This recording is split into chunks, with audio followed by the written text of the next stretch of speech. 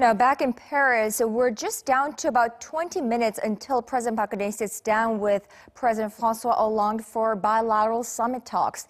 But before the evening summit talks, President Park received an honorary doctorate from the Paris Sorbonne University. She said through the country's uh, creative economy drive, the two countries can start a new age for their economies. Kwon Jang-ho has this report. Hours before President Park Geun-hye was set to meet with her French counterpart François Hollande, she found time to receive an honorary doctorate from the Paris Sorbonne University.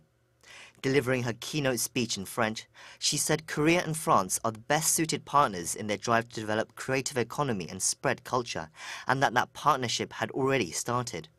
She added that she hopes to increase exchanges between the schools of both countries and support their talented young people. The night before, she also attended a K-pop music concert, billed as the largest K-pop concert in the world. It's part of a seven-day music and cultural festival named KCON, being held in nine major cities around France and organized to celebrate the 130th anniversary of diplomatic ties between Korea and France.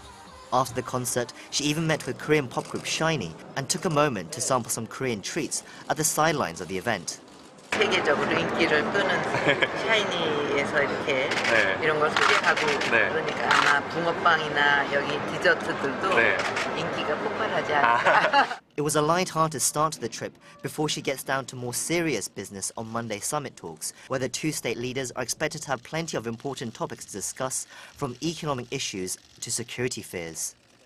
Kwon Jang-ho, Arirang News.